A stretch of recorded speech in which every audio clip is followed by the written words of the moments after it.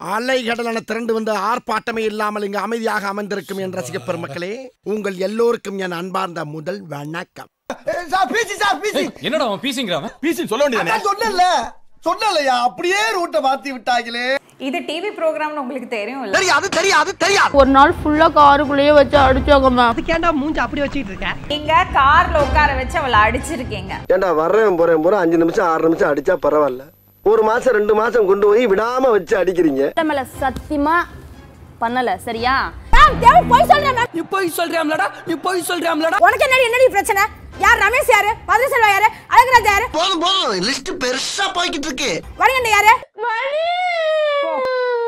வடிகண்ட யாரு? அந்த வீடியோ எடுத்து காட்டுங்க. குனிந்த தலையும் கூறான பாறையும் ஒரு எதிர பாத்துக்கிட்டா என்ன மட்டும் மன்னிச்சுக்கிறாயப்பா. போச்சா போயிச்சுல? என் தங்கனியா? ஆமா மேம் சிவா பிரபு உங்க அக்கா நாகஜோதி. எல்லாரும் உங்க ரூம்குள்ள வந்துட்டாங்களா? கார்ல சிவாவும் பிரபு அழைச்சிட்டு போனாங்க. நீ எப்படி காருக்குள்ள போன? நாங்க போவோம் இங்கேயே பாய வச்சு கூட மல்லாக்க படுப்போம். வணக்கண்ணா அவங்க வெளில ஃபோன் பண்ணி வர வச்சு போனாங்க. ஐயோ. இவங்க எனக்கு என்ன ஊசி போட்டாலும் என்னன்னு தெரியல மேம் நான் ஒரு மாசம் பீரியடே நிக்கல மேம் கேளுங்க மேம் என்ன பண்ணானு how do I tell you சொல்றாங்க மேம் இல்ல கண்டென்ட் கிடைக்காம கண்டென்ட் உருவாக்குது கார்த்தின்ற கண்டென்ட்டும் ரெடி பண்ணி பேச வச்ச கண்டென்ட் அதுக்கும் எவிடன்ஸ் இத சொன்னா நம்மள பைத்தியக்காரன்னு சொல்றாயா இருக்கு மேடம் போட அடிச்சு செருப்பாளி அடிச்சு நம்ம கார்த்திகே ஒரு தெரியுமா என்னது ஒரு பேச்சுக்கு சொன்னா உடனே நல்ல செருப்பா பிக்கிறாங்க நீ வச்சிருந்த ஆரப்பாளையம் கார்த்தி மதுரை கார்த்தி.